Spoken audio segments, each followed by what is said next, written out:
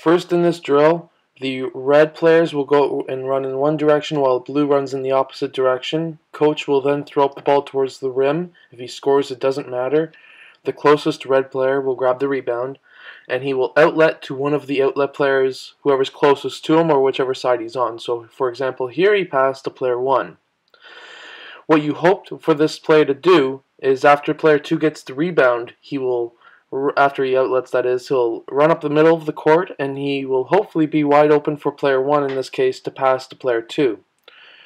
2 will then continue up the court and he'll have an option to pass to 4 or 5.